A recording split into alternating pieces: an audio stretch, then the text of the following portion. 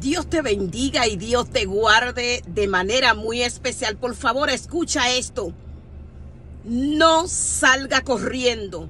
Resiste, aguanta, hazle frente al problema. No suelte lo que con sacrificio ha podido conseguir. No le tenga temor al enemigo, no le tenga miedo al diablo, ni a sus demonios, ni, ni a sus amenazas. No, Dios se encargará de tus enemigos que se levantaren contra ti. Por un camino vendrán contra ti y por siete tendrán que salir huyendo.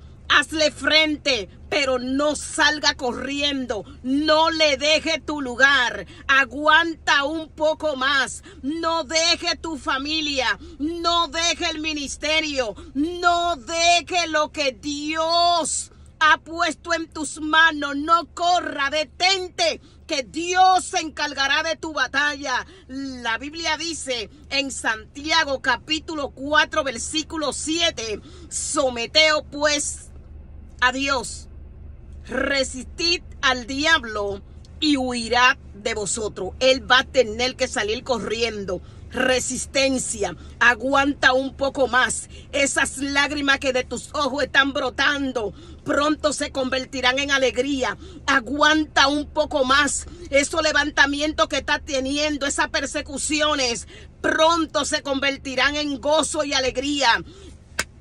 Toca pandero, porque lo que hoy te hacen la guerra, mañana tendrán que hacerte el saludo porque tú eres un hijo, una hija de Dios. Dios te bendiga y Dios te guarde. Aguanta un poco más, que ya lo que Dios dijo se va a cumplir. Bendiciones.